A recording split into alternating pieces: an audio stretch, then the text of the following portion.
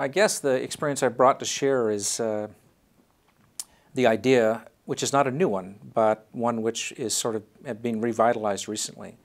And that is about the importance of looking at the sources from which crops were derived, the wild gene pools, which are much more extensive in terms of in a genetic sense, but also in terms of traits.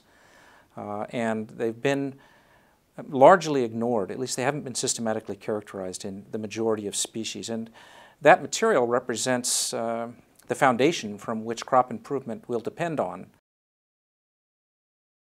Uh, we're trying to introduce new variation to meet a number of particular agronomic uh, needs.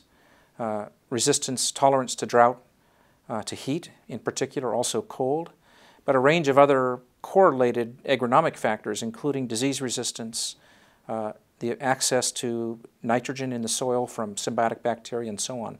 So we treat the, the task of chickpea improvement as being one that involves multiple interrelated uh, objectives. What can be done for the small-scale farmers?